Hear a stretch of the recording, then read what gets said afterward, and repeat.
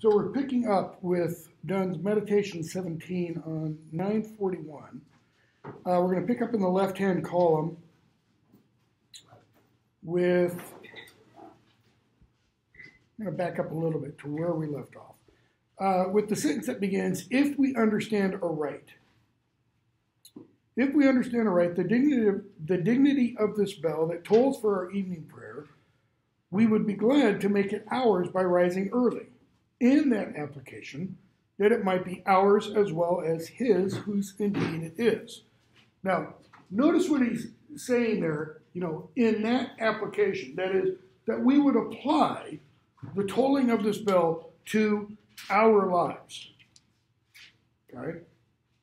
He says if we take it to just mean that the bell is telling us to get to church for evening prayer, we would do well to apply it to our lives to make our rising early.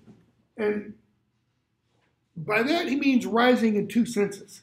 He means physically rising, getting up early enough to make sure that we're not late for church, but he also means it in a spiritual sense, a spiritual resurrection, a death and rebirth. Okay? So that we won't be late for our death, so to speak. that it might be ours as well as his, the person for whom the bell is tolling. The bell doth toll for him that thinks it doth. Okay?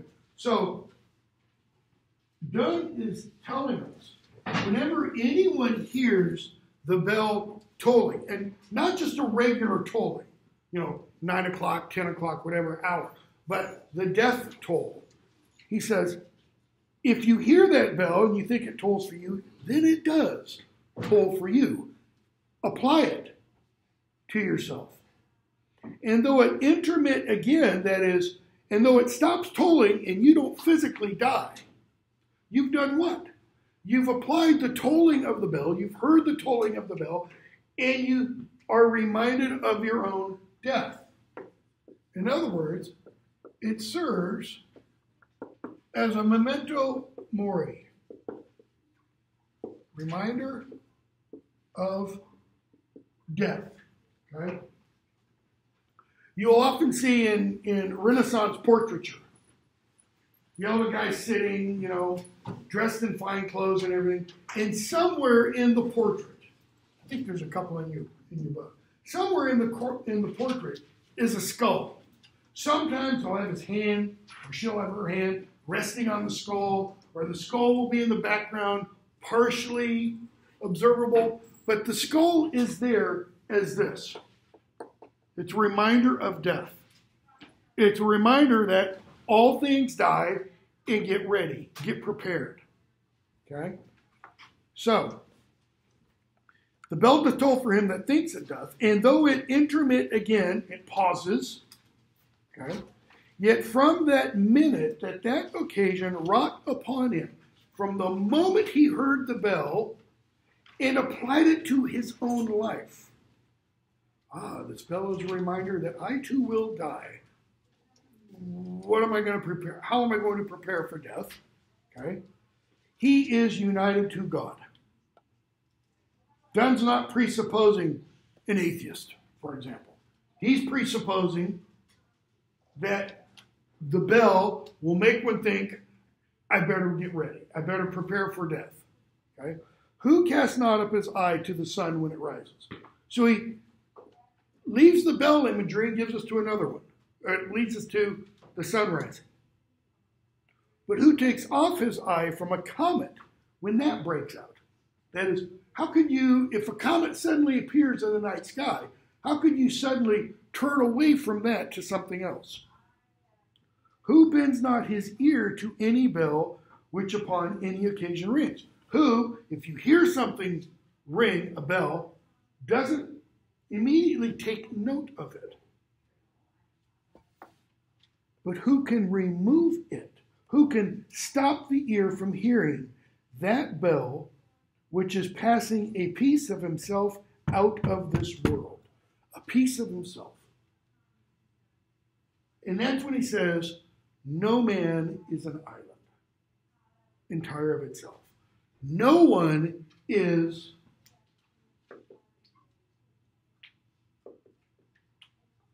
independent. In, not dependent. What does dependent mean?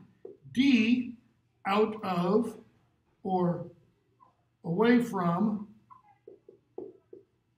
hanging. Dependent means self existent. Okay? Independent means not self existent. No one Donne a saying is this. No one is an island, right? Like the Hawaiian Islands, they don't depend on the North American continent or the South American continent or the continent of Asia or the continent of Africa or the continent of Antarctica, right? They're totally separate from. Donne is saying no man is like that. Everyone is, in other words, connected. No man is an island is an island entire of itself. Every man is a piece of the continent. The continent, you could say, is human nature. We all share in this.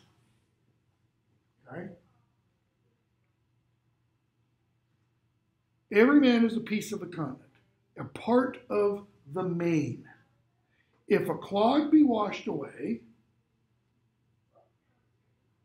by the sea, Europe is the less. As well as if a promontory, a clod, a, a, you know, a clump of sand, if it gets washed into the sea, he says, Europe is smaller just as much as if a promontory, a big piece of land, if that were washed into the sea. The only difference is size. Still, Europe the main land is now reduced. Humanity, Donne is saying, is now reduced. Whether one person dies or a thousand persons die.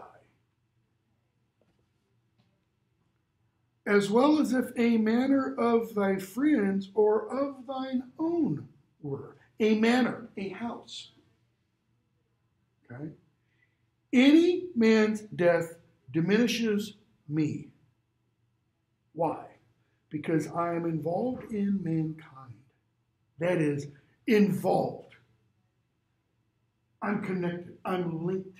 We're all, the speaker is saying, interconnected. We all depend on one another. We like to think we're independent, especially Americans.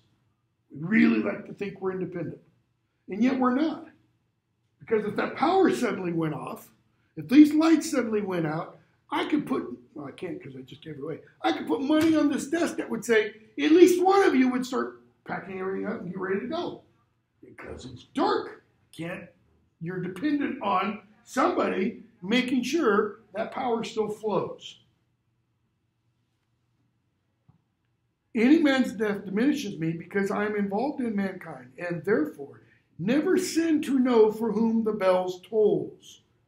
Notice he doesn't say, ask not for whom the bell tolls, which is what the common saying is. Never sin to know for whom the bells tolls, it tolls for thee. If a person dies,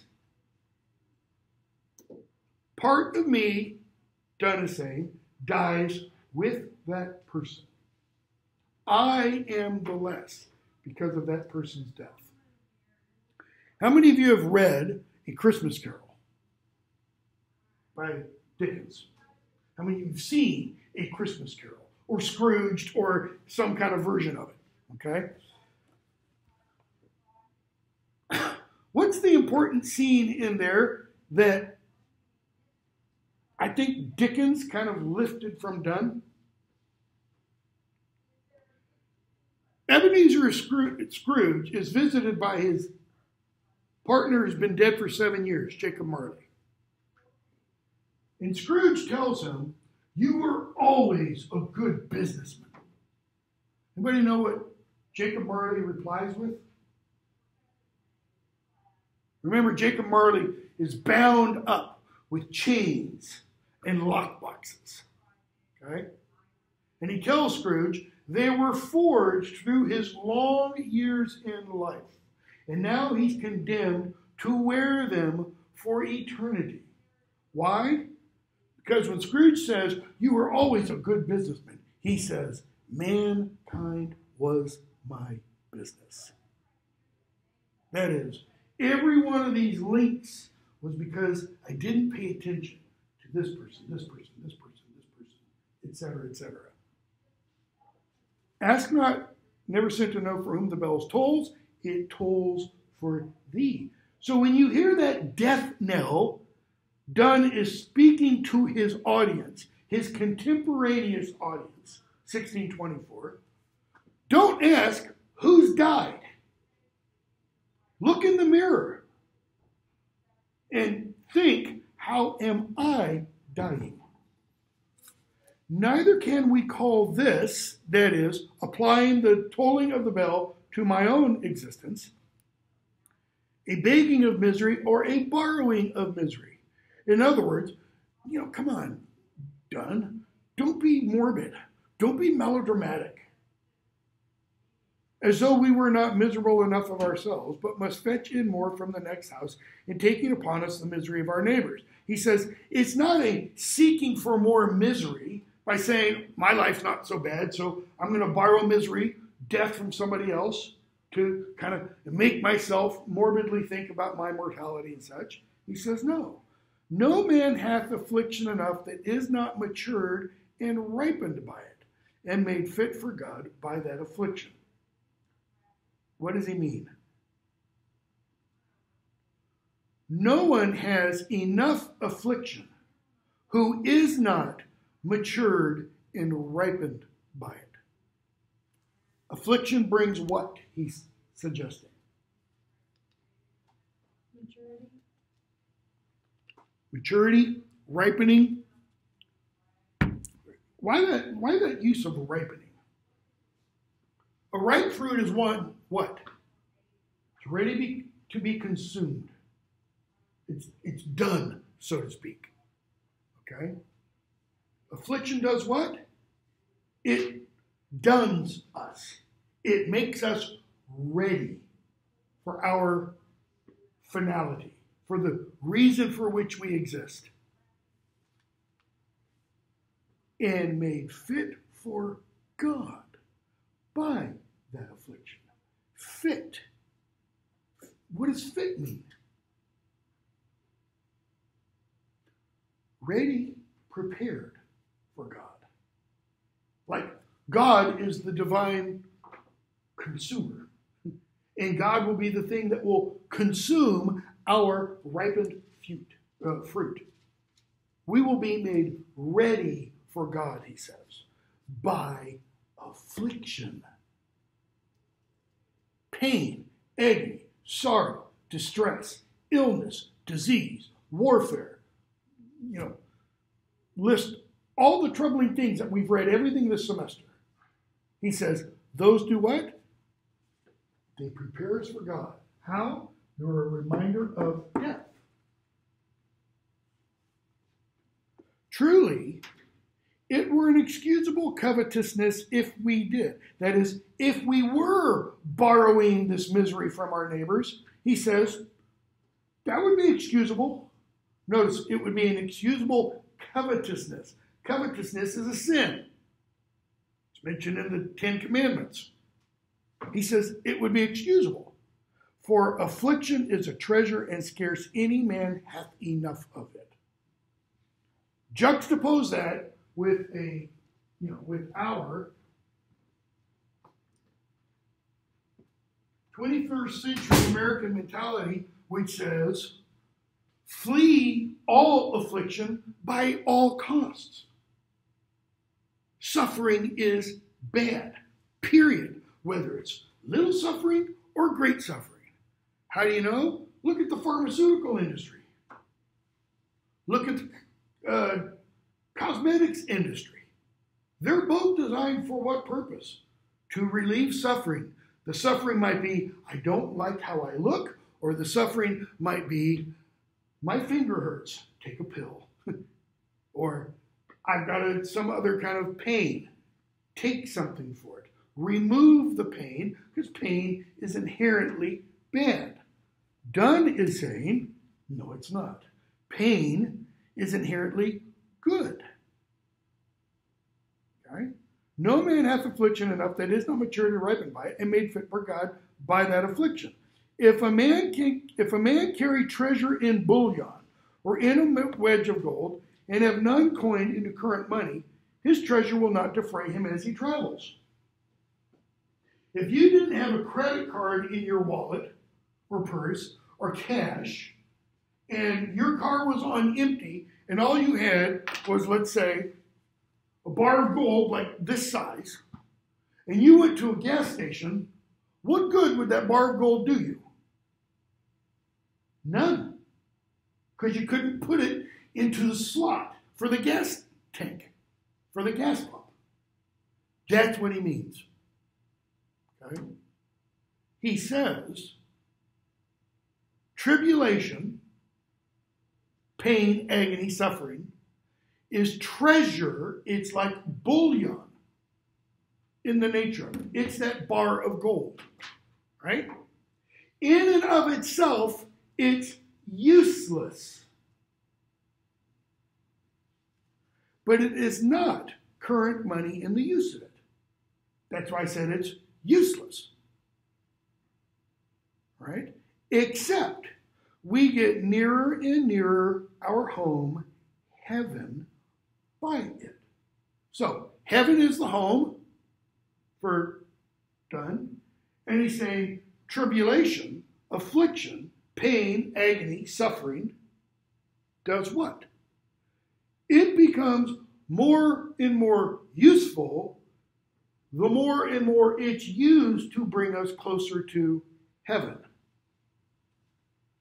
Another man may be sick too, and sick to death, that is, and dying. And this affliction may lie in his bowels as gold in a mine, and be of no use to him. Why? What does he do with that affliction? What does he do with that gold, that affliction, let's say, in his bowels? See, he has stomach cancer, literally in his bowels. Right? If he doesn't use it, if he doesn't convert that affliction, that gold in his bowels, to currency, to something to be used, then it will do what? What does cancer do? It eats you. It'll eat him away. That's why he says, it may lie in his bowels as gold in a mine and be of no use to him. But this bell, boom, boom, tells me of his affliction. It tells because it is telling. You know, the reason you call a bank teller a bank teller is because what does the bank teller do? Counts out the money. Tell and toll, they're the same words. You know, when you go through a, a toll booth on a parkway or a road that has a toll on it, you got to throw money in it. The same thing. He says, This bell that tells me of his affliction because it's tolling does what? It digs out and applies that gold, the gold that is eating him away. It applies it to me, Donne says. Here's how. If by this consideration of another's danger, I take mine own into contemplation. If I think this person is dying, and I then make myself think I am dying. This. You know, I kind of think this is what Hamlet, the play, is entirely about. You get to the scene in Act 5 Scene one, where Hamlet's meeting with Horatio, his friend, and they're getting ready. Hamlet's getting ready to have a fencing match with another man named Laertes. Hamlet has killed Laertes' father. Laertes wants revenge. All right? And Hamlet, he's got a bad feeling in his gut about this. His friend Horatio says, "Don't, don't get, don't engage. Don't go to the fencing match. It's not a fight to the death. It's a match, like a game." He says, "Don't do it." Hamlet says, "Nah. If it be not now, it'll be later. If it be not later, it'll be now." Essentially says, you know, the readiness is all. The readiness for what? For death. If it's today, it's today. If it's tomorrow, it's tomorrow. I have to be as ready for death now as I do if I'm going to die when I'm 85. And what Hamlet is saying there, and what Donne is saying here, is that every day one should remember this. Every moment of every day one should remember this. Okay? If I take mine own into contemplation and so secure myself by making my recourse to my God, who is our only security. And that takes us back to the end of the wanderer. You want real security, the wanderer says? You want real stability? Don't seek it down here. Because everything down here is changeable, everything down here is impermanent. Okay? Seek it in heaven instead. Go from there, so we're done with Donne, to, uh, I don't know why I put Herbert first, because he comes after all these others. Um, to George Herbert. Easter Wings is on 963. Just a little bit of background about Herbert. Um, Herbert's a contemporary of Donne's, a bit younger, about 20 years younger, not, uh, yeah, 1593, I think, when he was born. Yeah, so he's 21 years younger than Donne. He was a follower of Donne's. Um, Donne was good friends with his mother. He wrote poems to and for Herbert's mother. Herbert was different than Donne or any of the other poems, uh, poets that we're going to read, you know, during the, the 17th century period, um, in that Herbert wrote only devotional poetry. Okay? Donne wrote devotional poetry, devotional meaning religious. You know, if you if we had read the holy sonnets, those are all devotional poems. Okay, hymn to God the Father is another devotional poem. I'm trying to remember what else we read by Donne.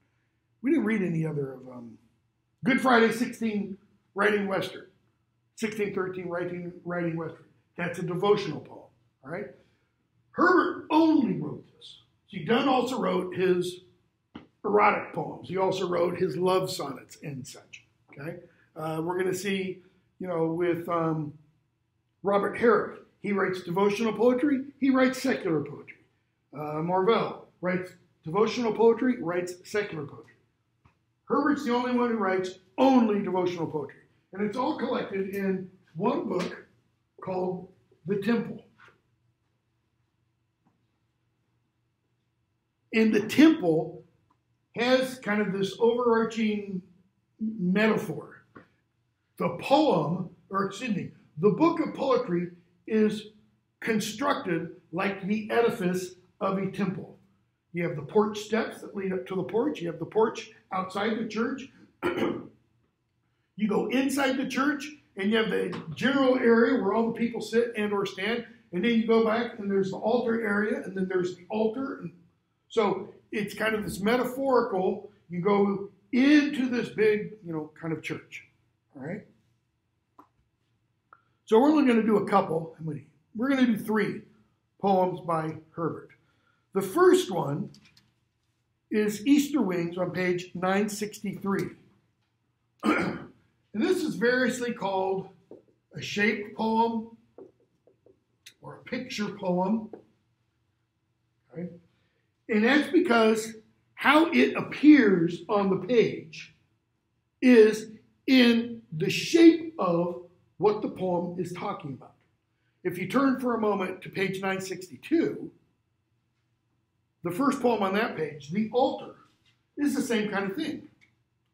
The poem is written on the page so that it looks like a physical altar. Kind of looks, you know, like this podium. Okay? So,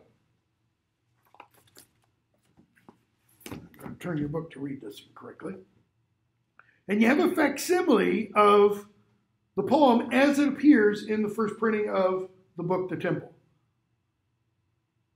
Lord, who created man in wealth and store, though foolishly he lost the same, decaying more and more till he became most poor. With thee, O let me rise, as larks, harmoniously, and sing this day thy victorize. Then shall the fall further the flight in me. Notice it's Easter wings. We've got a gloss. Um,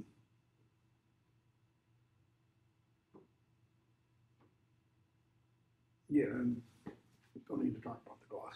So no, look what happens in that first stanza. Lord, who createst man in wealth and store. It's the longest line in that first stanza. So greatest wealth. Store means like storehouse, um, place where you store stuff. It's full, right?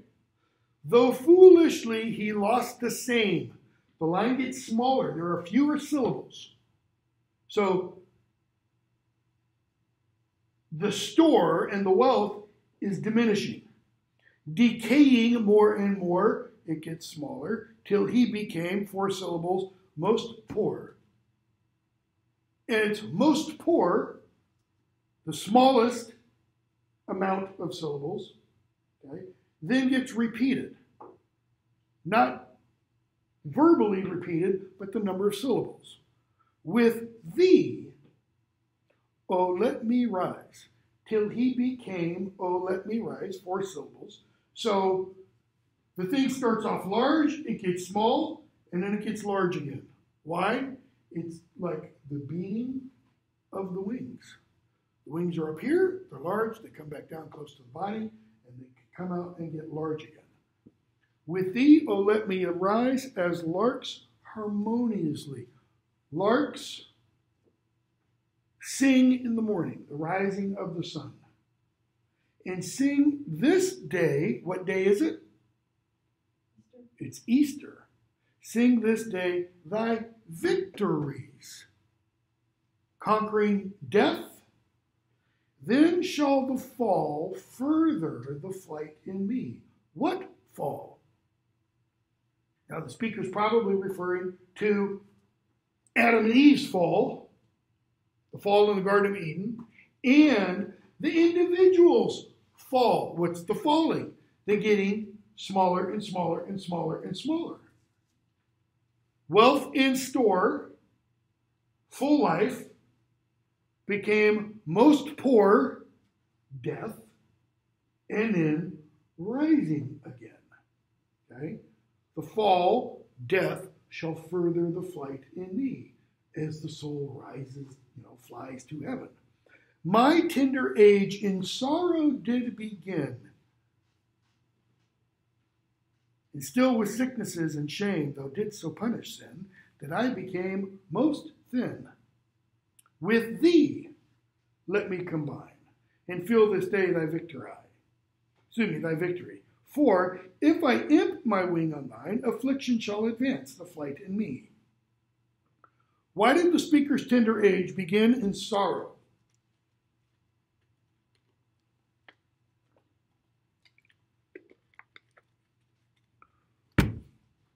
Think back to the wife of Bath's tale. Answer now the Green Knight, original sin. He's Anglican, okay? Herbert is. He believes in the doctrine of original sin, that everyone is born in a state of sin. Okay? That's why my tender age, my youngest age, began in sorrow.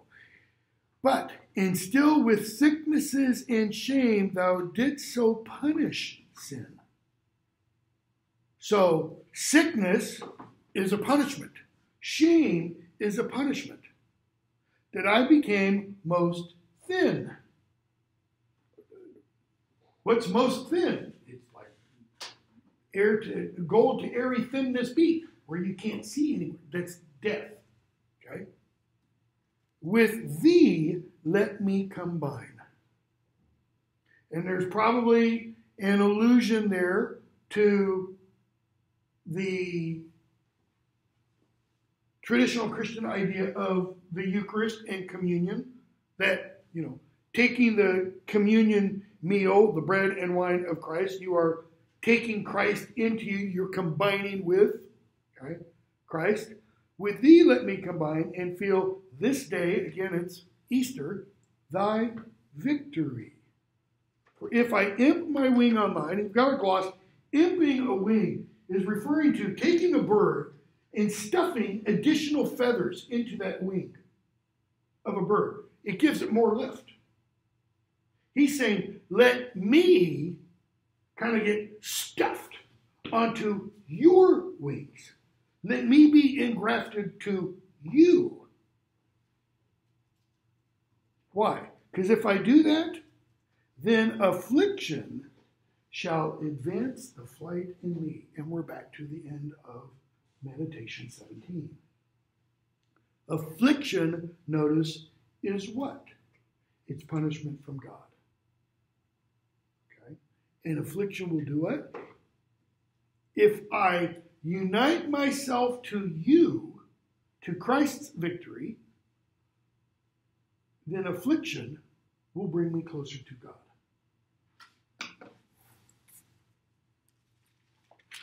Go from there to the collar, 971.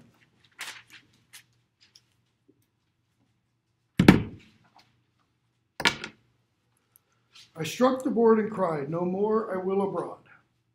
Is that how that line should be read? Or those two lines should be read? No. I struck the board means what? Room and board means you get a room and you get a table of food. I struck the board. I hit that table hard. Why? I'm out of here. That's what I'm, I will abroad means. I'm out of here. I'm done. I've had it. Enough. What? See, between I will abroad and what, it's almost like if the speaker is addressing somebody, the person being addressed did something to catch the speaker's attention. I will abroad, you know, heads toward that door. And this person kind of goes, ah, What? Shall I ever, always, sigh and pine? My lines in life are free, free as the road, loose as the wind, as large as store. In other words, nothing is holding me back. This is not like Frost's speaker in Stopping by Woods on a snowy evening, where the speaker says, I have miles to go before I sleep and miles to go before I sleep. You know, the speaker wants to fall asleep in the woods on a snowy evening. He wants to commit suicide, but doesn't.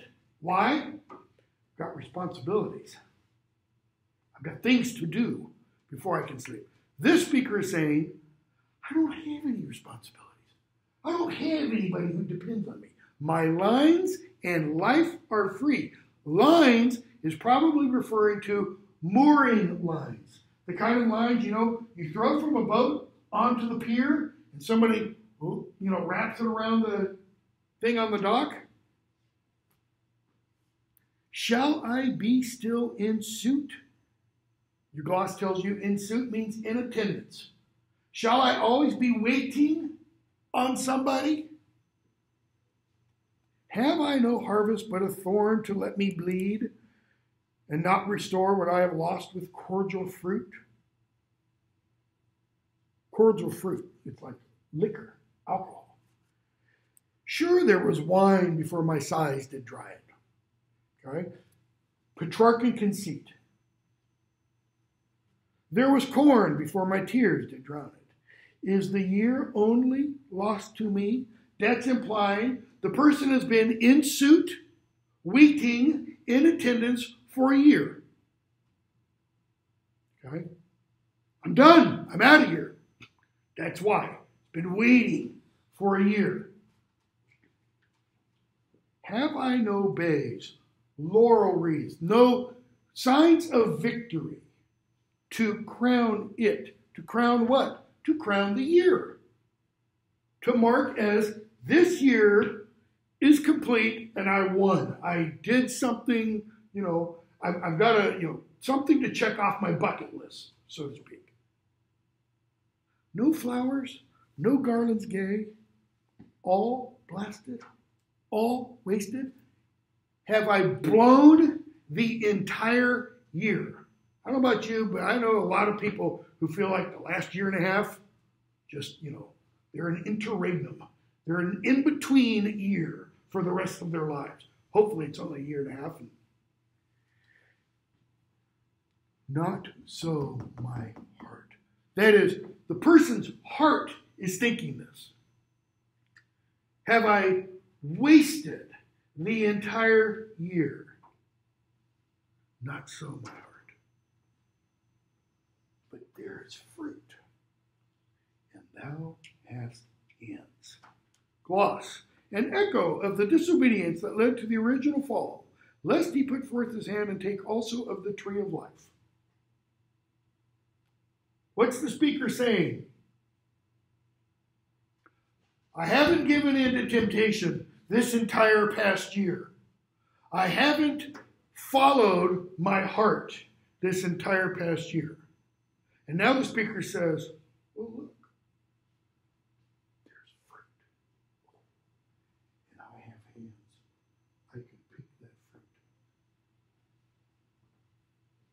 recover all thy sigh blown age on double pleasures. How do you get double pleasures? What does it mean? Recover all thy sigh blown age. Try to cram into the next year two years of pleasure. You know, there, you always hear stories, whether they're real or not, I know of at least one that is real. You hear, you know, urban myths about somebody finds out, you know, go to the doctor, have their annual whatever, and they get a letter in the mail, you've got inoperable cancer. And the person says, ah, the hell with it. And they get out, apply for a whole bunch of credit cards, max them all out, do a round the world trip, blah, blah, blah, and then find out, oops, lab mix up. It wasn't me. There was an actual case of that about five years ago. There's a guy from Australia.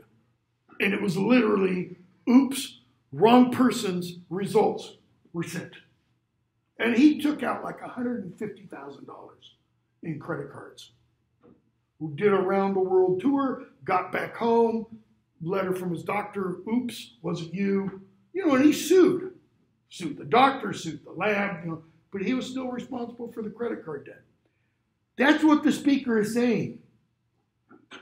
You denied yourself these pleasures for a year. Now, double up. Get as much pleasure as you can, as fast as you can. Leave thy cold dispute of what is fit and not. What does that mean?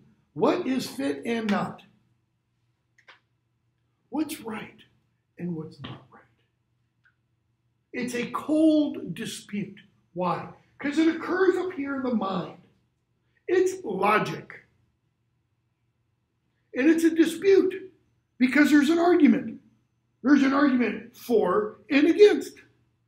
One argument says, hey, you only live once. Go for the gusto. Grab that brass ring.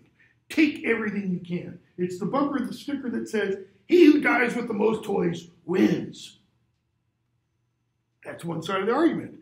The other side of the argument is, you know, kind of Donne's argument in the meditation, or the argument, you know, uh, we saw in Easter wings. Okay? It's a cold dispute of what is fit and not, what is appropriate and what isn't appropriate.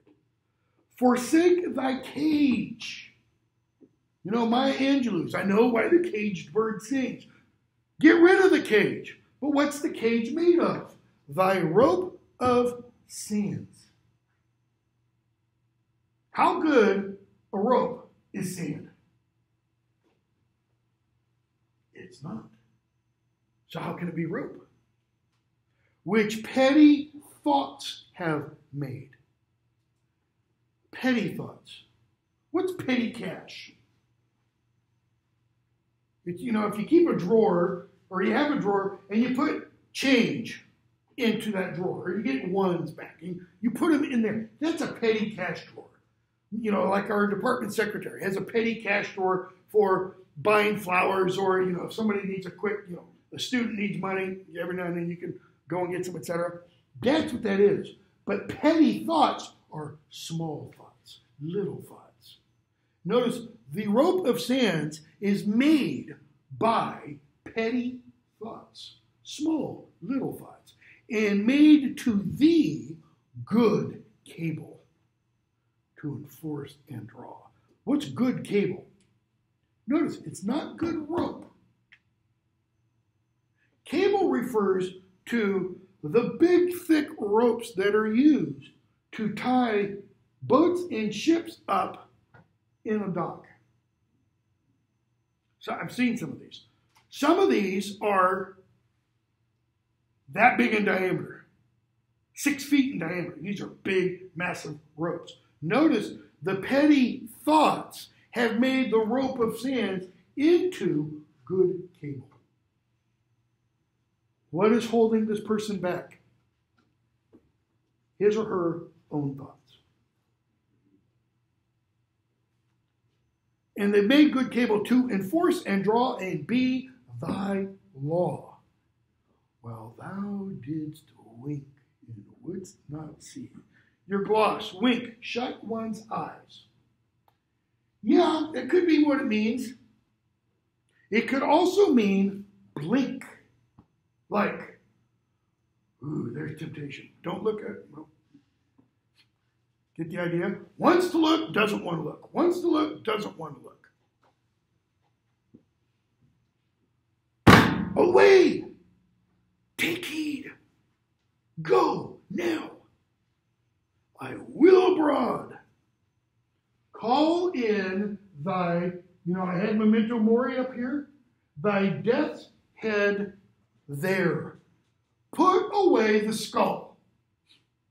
This isn't some goth thing. This is a real skull. It's to be a reminder. It's why in Hamlet, you know, at the beginning of Act 5, there's a grave digger scene. And they're throwing up, digging up skeletons. So that Hamlet can go on this big long riff about this is what happens to everybody kings as well as paupers. Come, put it away. Tie up thy fears. Bind your fears and do what with them? Doesn't say necessarily do what with them. Tie them up, hide them. Don't pay any attention to them. He that forbears to suit and serve his need deserves his load. If you, the speaker is saying, don't go for what you want out of this life, then you get or you deserve what you get out of this life. If you're more than willing to settle for middle of the road, boring middle class existence, then that's what you're going to get. But if you want more, what do you have to do? You got to scrabble and claw for it. But as I notice the verb, raved. What does it mean to rave? What kind of person raves?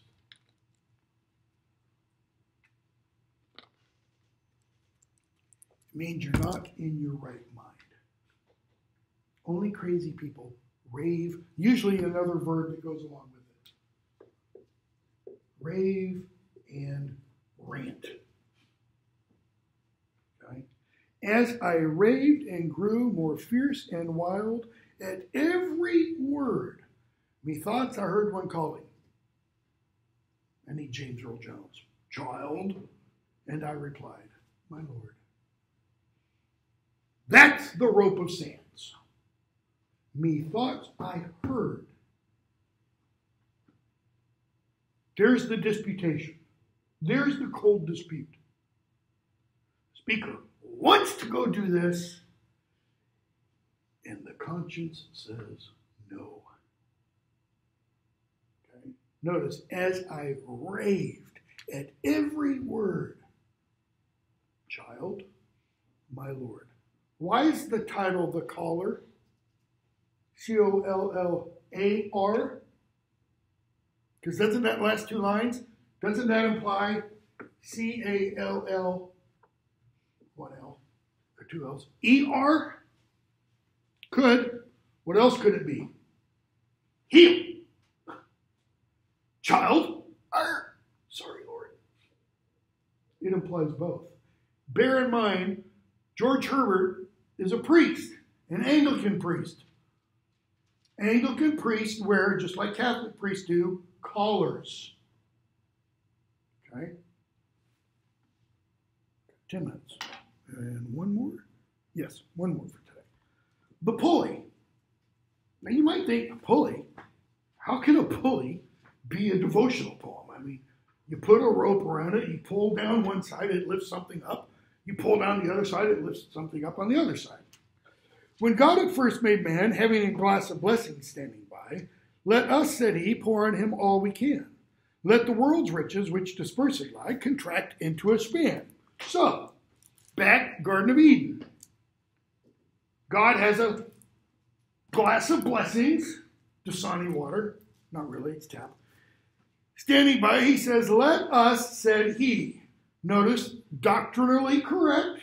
Let us, Trinity, said he, God, pour on man all the world's riches, which dispersed lie. They're, they're all throughout the world. And let's contract all those into a span. All right? So strength first made a way. So that implies in this glass, strength is at the top. Then beauty flowed, then wisdom, honor, pleasure. When almost all was out, God made a stay. That is, God sitting there pouring, and he realizes, I'm going to empty this, and stops. Perceiving that alone of all his treasure, rest in the bottom layer. Notice the pun. Rest, like um, cessation of activity, like calm, contentedness, peace, sleep, possibly even. Okay? But what else?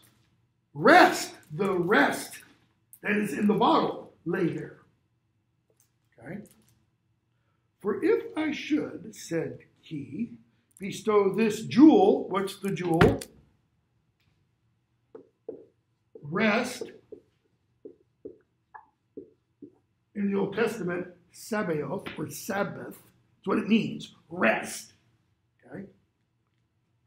If I should, said he, bestow this jewel also on my creature, he would adore my gifts instead of me. What are the gifts?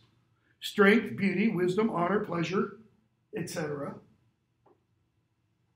And rest in nature, that is, the things he was created from, not the God of nature, not the God that created the things he was made from. So both should losers be. Man would be a loser. Why? Because he wouldn't search for God. God would be a loser. Why? Because man wouldn't search for him. But let him keep the rest. That is everything else I've already poured into him strength, beauty, wisdom, honor, pleasure. Those are ones named. Let him keep the rest and keep them with repining restlessness.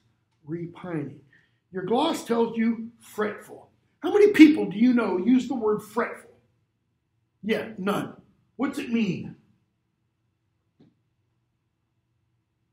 Complaining, restlessness, dissatisfied, restlessness, discontent, restlessness. I still haven't found what I'm searching for. U2, Bono. Restlessness. That's what's meant.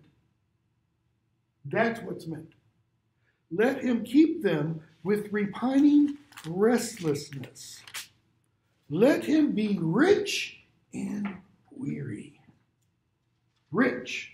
That is, in all these blessings I've given him, and it's not enough.